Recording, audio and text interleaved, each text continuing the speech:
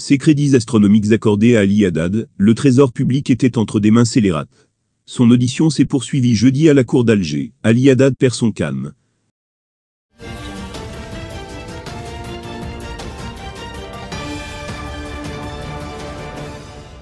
Ces crédits astronomiques accordés à Ali Haddad, le trésor public était entre des mains scélérates. On a beaucoup dit du régime Bouteflika, mais une chose est sûre, il a été pendant 20 ans, le tiroir caisse pour toutes les fripouilles de la République. Ali Haddad, les frères Kouninov, la sulfureuse Madame Maya, et d'autres se servaient dans le trésor public, comme on se sert dans la marmite de maman. Des hommes clés de l'État, à l'instar des premiers ministres Ahmedou Yahya et Abdelmalek Selal, des ministres zélés, et sans aucune loyauté envers la patrie, ont ouvert les portes du trésor public à ces privilégiés voraces trafic d'influence, blanchiment d'argent, obtention d'un du privilèges immobiliers et bancaires, détournement de fonciers et de concessions, conclusion de marchés publics en violation de la législation en vigueur, non-respect des engagements contractuels dans la réalisation de projets publics. Les chefs d'inculpation, qui renvoient cette voyoucratie en prison se ressemblent. Les verdicts aussi. Mais au-delà des condamnations, et de la satisfaction ou non, que peut en tirer le grand public, c'est l'ampleur du préjudice causé au trésor public, et la facilité avec laquelle on se jouait des biens de la nation qui marqueront la conscience et la mémoire collective. Les chiffres livrés par Ali Haddad donnent le tournis. Le magistrat qui présidait au procès en appel tenu durant la semaine écoulée avait du mal à suivre le défilement des chiffres tellement les montants dépassaient l'entendement. En 20 ans, le groupe ETRHB appartenant à l'ex-patron du FCE, aujourd'hui emprisonné à Tazoult, a décroché 134 marchés publics d'une valeur de 748 milliards de dinars et 457 crédits d'investissement et crédits bancaires.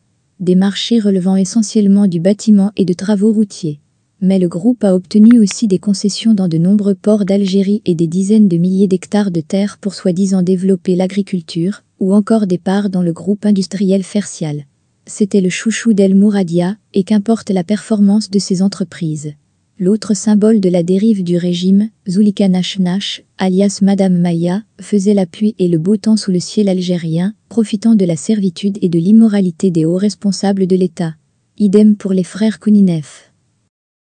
Lors de leur procès, tenu en septembre dernier, on avait appris aussi que le groupe QGC, à travers ses filiales, a causé au trésor public des pertes estimées à plus de 270 milliards de dinars, dont 186 milliards de dinars dus aux crédits injustifiés octroyés au groupe par des banques publiques et 75 milliards de dinars aux uns du privilège obtenu par le même groupe.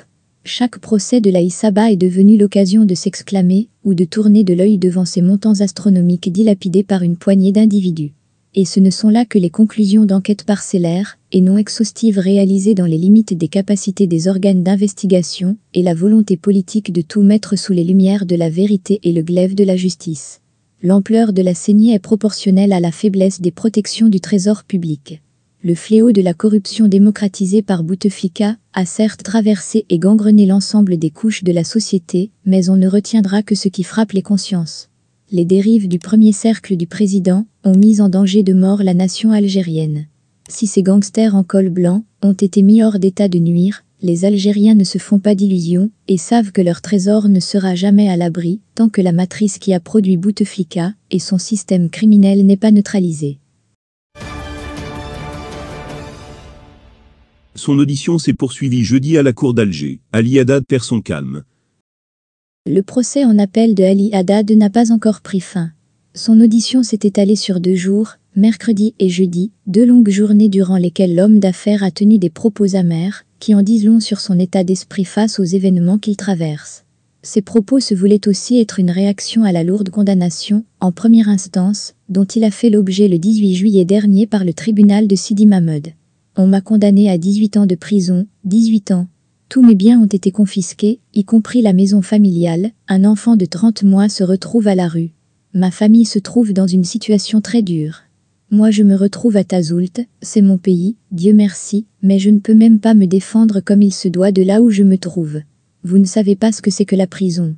On me demande également de rembourser toutes les sommes dépensées dans les projets, même ceux conclus avec la collaboration de partenaires étrangers. Comment cela peut-il être possible? Le juge l'écoute calmement, lui demande de garder son sang-froid et de répondre aux questions qui lui sont posées. Avant de lui donner à nouveau la parole, il fait cependant une mise au point, les magistrats connaissent très bien les prisons. Ils s'y rendent, s'y déplacent, savent ce qu'est le milieu carcéral et les raisons pour lesquelles des personnes y sont détenues. Le juge reprend l'audition du prévenu. Il avoue faire des efforts pour lire les chiffres contenus dans l'une des expertises. De toute ma carrière, dit-il, c'est la première fois que j'ai du mal à énoncer une somme aussi importante, 230 000 milliards de crédits accordés à Haddad. Mercredi après-midi, premier jour de son audition, l'ex-patron de l'ETRHB avait tenté de se défendre en soutenant que certains crédits qui lui avaient été octroyés avaient été remboursés. Avec une voix toujours aussi calme, le juge rappelle que le montant des crédits qui lui ont été alloués en 15 ans s'élève à 18 milliards de dollars. On apprend, par ailleurs, que 452 crédits ont été alloués entre 2000 et 2015. Le crédit octroyé par la BDL s'élève, à lui seul, à 1700 milliards. Haddad se défend. Mon entreprise, dit-il, a évité à l'Algérie la perte de 226 millions d'euros dans le projet de la ligne ferroviaire Relisane, Tiarit, Tissimsilt. Il ajoute, le marché de restauration d'un tronçon routier de 30 km à Aïn de Fla n'a pas été accordé de gré à gré, comme le dit l'expertise. Mon entreprise n'avait aucun droit de regard sur les décisions du gouvernement et de la commission d'octroi des marchés. Elle ne pouvait pas influencer leur démarche, le juge l'interroge sur les pots de vin donnés à l'ancien ministre de l'Industrie Bouchouareb. Haddad se maîtrise difficilement. Je n'ai pas donné un pot de vin de 500 millions à Bouchouareb, comme on le dit. Les experts ont dit que j'ai payé pour un projet de cimenterie à Sétif, mais c'est faux.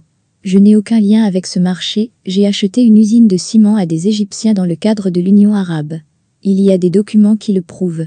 Nouvelle question du juge qui demande à Haddad de s'exprimer d'abord sur les biens qu'il détient à l'étranger, puis sur le financement de la campagne pour le cinquième mandat. J'ai un ou deux comptes en France, l'un d'eux est domicilié à la Société Générale. J'ai également un hôtel à Barcelone, qui a coûté 54 millions d'euros. L'argent provient de trois crédits que j'ai pu obtenir. Je n'ai pas financé la campagne de Bouteflika, poursuit le prévenu. Je ne sais pas comment ont été amassés les 95 milliards. Je sais seulement que l'homme d'affaires Mazouz m'a remis un chèque de 39 milliards en présence d'une autre personne. Durant l'enquête menée sur le sujet, il avait été établi que l'argent de la campagne avait été disposé dans les bureaux de Haddad Abba Bézoir, sur instruction du conseiller de Bouteflika, qui craignait un vol dans les circonstances mouvementées que traversait alors le pays.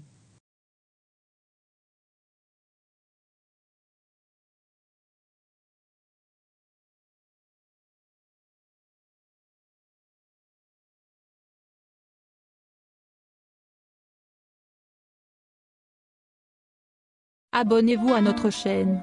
Cliquez sur la cloche pour rester au courant de l'actualité algérienne.